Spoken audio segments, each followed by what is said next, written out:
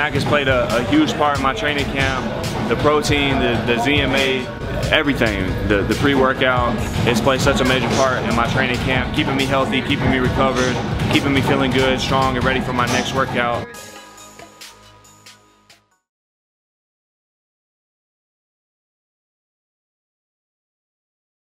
Welcome to the stage at this time, fighting out of Florida by way of Orotukan, Russia. That battle ready veteran ranked the WBA number three middleweight. No trust on the beat. I don't trust nobody. Hey, bitch, I'm charged up. Yeah. Power up. And his opponent Hey, watch me level up. hailing from Brighton, Sussex, England. Oh.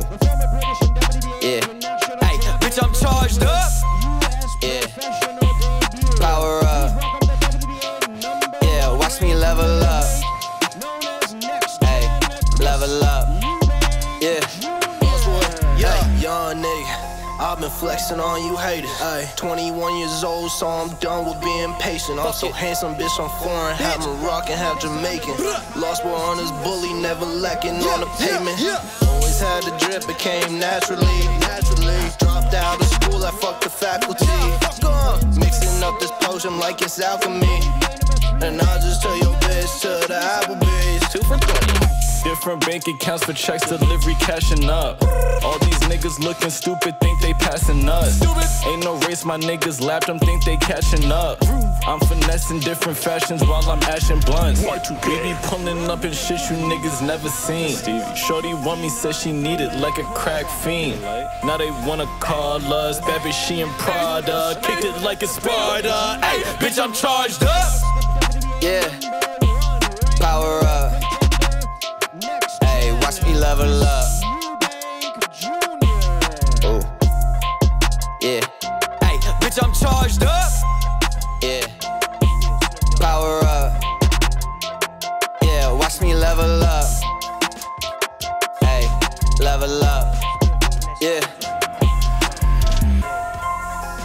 Pull up in the hoodie with the scythe. This is not a beamer, it's a bike. I ain't never stopping for a light. Maybe all them teachers called it right. Psych. Hey, smoking on a split, but behave. Getting too high, need a raise.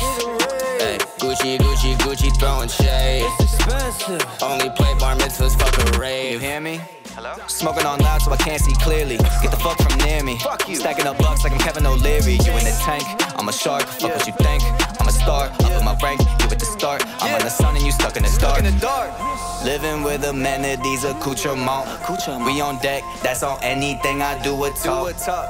Pimpin' slim boss, getting hella cross. Crazy, anything could set me off. Hey, bitch, I'm charged up. Yeah, power up. Hey, watch me level up. Oh, yeah. Hey, bitch, I'm charged up. Yeah. Power up. Yeah, watch me level up. Hey, level up. Yeah. Matt Korobov, there are people already talking about your opponent, Chris Eubank, fighting for a world championship. He hasn't fought you yet.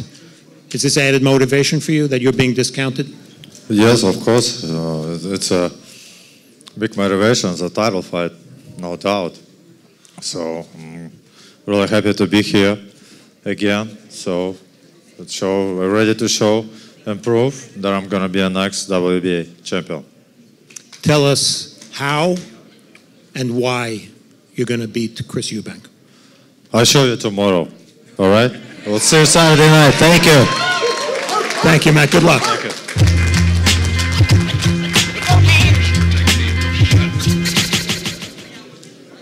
Chris Eubank Jr., 159 and change. First time you've made middleweight in about three years or so. How do you feel now physically compared to how you felt when you made 168 pounds?